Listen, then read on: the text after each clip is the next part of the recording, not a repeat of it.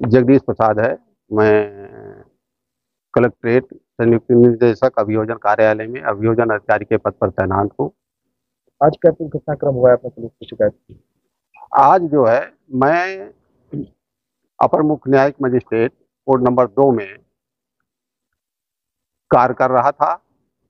उसी समय कार्य कर रहा था करीब चार बजकर छः मिनट पर बेनहर के एक कर्मचारी के मोबाइल से रोते हुए मेरी बेटी, जो लगभग दस वर्ष की है, फ़ोन किया।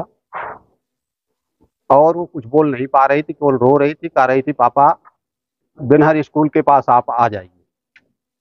मैं कोर्ट का काम तुरंत छोड़कर वहाँ अपनी जो है गाड़ी लेकर तुरंत बेनहर स्कूल पर पहुँचा तो देखा कि ए, मेरी बेटी वहाँ गेट पर खड़ी हुई रो रही थी।